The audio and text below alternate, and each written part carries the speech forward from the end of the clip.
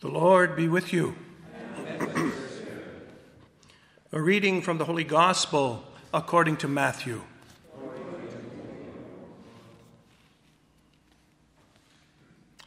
Jesus spoke to the crowds The kingdom of heaven is like treasure hidden in a field, which someone found and hid.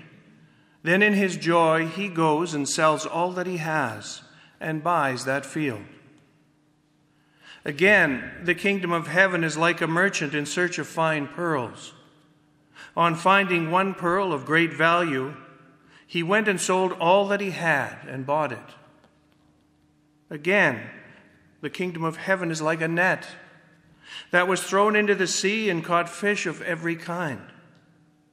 When it was full, they drew it ashore, sat down, and put the good into baskets, but threw out the bad. So it will be at the end of the age. The angels will come out and separate the evil from the righteous and throw them into the furnace of fire, where there will be weeping and gnashing of teeth. Have you understood all this? They answered, Yes. And he said to them, Therefore, every scribe who has been trained for the kingdom of heaven is like a master of a household who brings out of his treasure what is new and what is old. The Gospel of the Lord.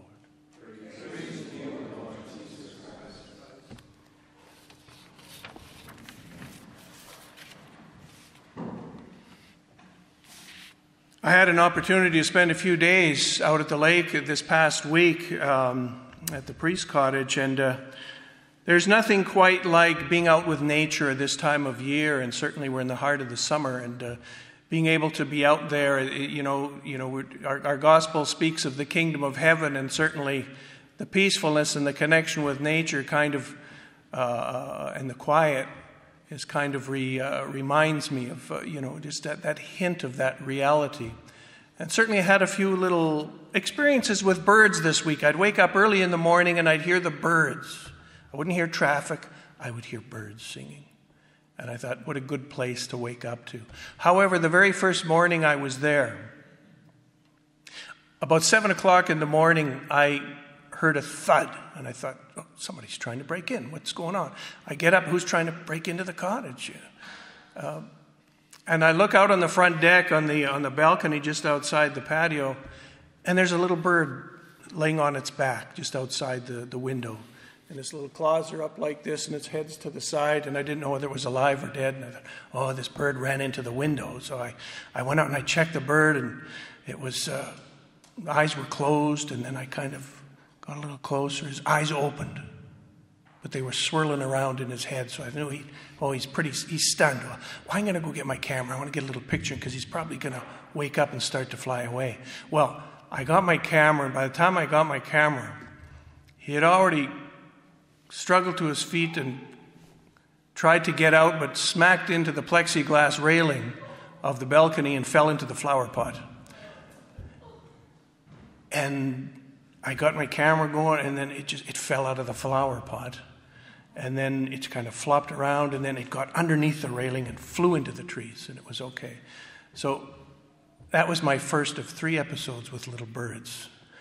The second one was there's a little fire pit, a little one of those little grills uh, with a lid on it, you know, that you can put little fires in. Well, I was walking by on the patio, and there was a bird stuck in there swirling around like it was in a merry-go-round, you know, and it couldn't get out. I don't know how it got in there, but it was in there. I guess it got in, there's a little hole in the bottom, but it couldn't get out. So I just lifted the lid, it flew away, and I said, You're welcome. And that was that. Third bird encounter. It was early in the morning, one Tuesday morning, maybe Wednesday. I was up, sitting out on the deck in the quiet and praying. And I just looked around, and there was another little bird, a little yellow, I don't know, it was a budgie or a canary bird. I don't know my birds very well. It was yellow. And it was just sitting at the corner of the balcony on a little case uh, on a little box, that container for, for cushions for the patio chairs. It was just sitting there facing the other way. And I thought, well, that's awful strange. So I figured as soon as I get up, it's going to go away. It didn't go away. I got up close to it, I looked at it, and it's, just a teeny little thing. Eyes were closed. So I spoke to it, no reaction. But it was sitting upright, and I stroked it with my finger, and its eyes opened like that. But it wasn't even startled, it just kind of sat there. And then he started talking. He okay? Were you sleeping what? Were you know? And he well, he didn't answer. Um, but a few minutes later, it popped up. It stood up, looked around, wasn't in any hurry to leave, and then just took off out into the trees again. So anyway, I just share those because there's kind of a fun way to, you know, to be able to interact with nature like that, and to uh, to to be in a place like that. There, there's there's a kind of a a connection, there's a communion, there's a sharing with nature that St. Francis knew a lot about. And I think that, that those are the kinds of things that, that maybe give us little hints or, or remind us of, of, of the kingdom of God. So we can try to picture what the kingdom of God really means and what, it, what it's like. We've always tried, we try to, and it's not merely about living in the lap of luxury or having all our physical comforts met. It's, it's not like sleeping on clouds and waking up and playing your harp once in a while. We have all these images because we have imaginations. We can create images of what the kingdom of God is like. And we kind of project our human uh, uh, perspectives on it. But really, what Jesus is getting at in the gospel is a little more about the disposition of heart that goes with the kingdom of God. It's not about f- the physicality of it so much as it is that sense of belonging. It's about discovery. It's about obtaining a hint of an answer to the deepest longings of our heart. A longing that we've never been quite able to put into words. A feeling of belonging, perhaps, of discovering who we truly are and how we're intimately connected with all creation. It's the addressing of a longing that goes far beyond the cheap facsimile that the world offers as a substitute for what God is offering. And when that longing is answered, we realize that everything else pales in comparison. Nothing else matters to the same degree. And if we find it in this life, we also realize that it doesn't eliminate all the pain and struggle and turmoil of this world like the person who finds the treasure and hides it in a field, sells everything he has to buy that field in anticipation of something great. And that's all that matters right now. Somehow we find that the challenging things of life in this world, when we're in that disposition of heart, don't threaten us so much anymore because there's nothing to be afraid of anymore. We can be broadsided by the worst catastrophes the world can offer and remain relatively unshaken because the kingdom of God reigns in our hearts. Many of you probably remember the famous speech by Martin Luther King shortly before his assassination. You know, he, com- he says, I have seen the promised land. I probably won't get there with you.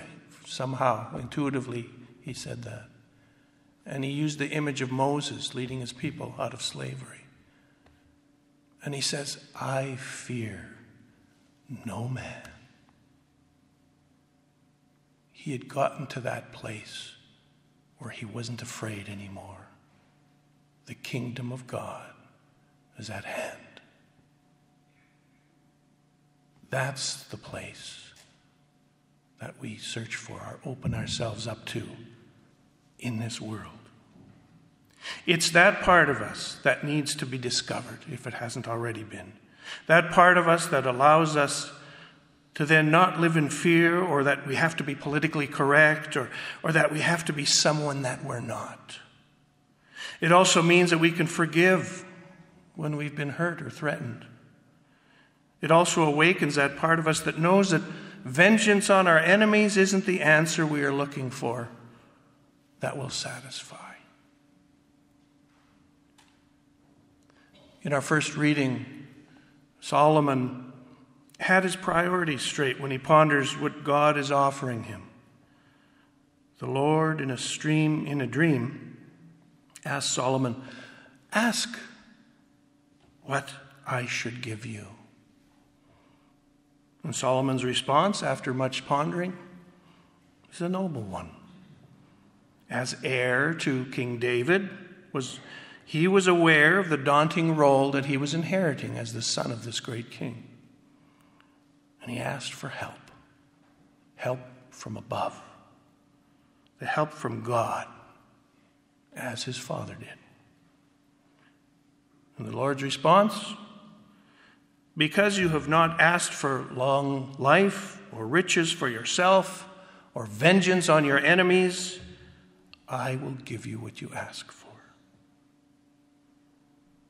We all know that too often in this world, history has shown that positions of power, such as that given to Solomon, end up becoming venues for self interest and abuse of power.